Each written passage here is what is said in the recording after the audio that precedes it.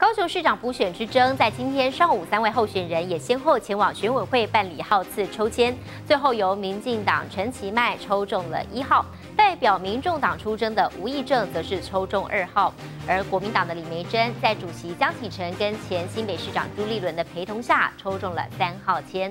陈其迈事后表示，他会来当第一名的市长，吴益政则是频频比出胜利手势。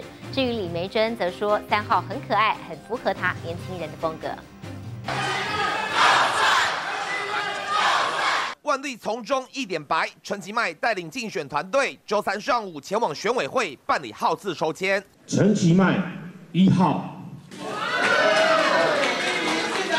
高雄市市政需要重开机啊，所以我会努力打拼啊，做一个第一名的市长。抽中天王陈其迈带着领先气势继续冲刺，而代表民众党出征的吴益政则是抽中二号签。吴益政二号。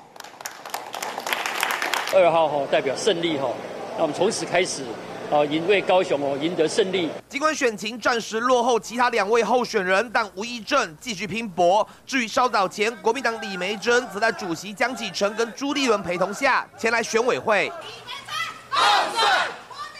加油！有了蓝营大佬力挺，李梅珍展露十足信心。李梅珍三号。三号很好啊，就是刚好这个手势是比较可爱，所以我很开心。还有三十天，还三十几天的空间，我一定会利用这三十几天，赶快争取年轻人来支持李梅珍。梅珍也答应说，如果他担任市长的话，他绝对会扩大对青年的照顾。民进党哈还是民进党，奇迈还是奇迈的状况之下，我个人支持他，更是全党团结支自家人挺自家人，但碰上敌营候选人，似乎也选择视而不见。告市长补选，蓝绿白壁垒分明，现在号次出炉，各自努力走向胜选之路。记者高雄综合报道。